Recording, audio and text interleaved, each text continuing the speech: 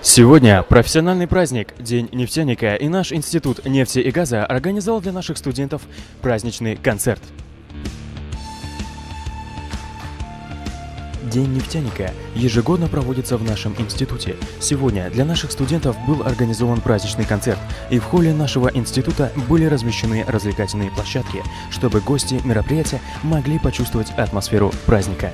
Все было ну, замечательно. Особенно понравились вот эти игровые стойки, где можно было попасть шариком в дротик, например, и выиграть призы, где тебе могли нарисовать символику Института нефти и газа. Особенно понравился концерт и выступление команды КВН.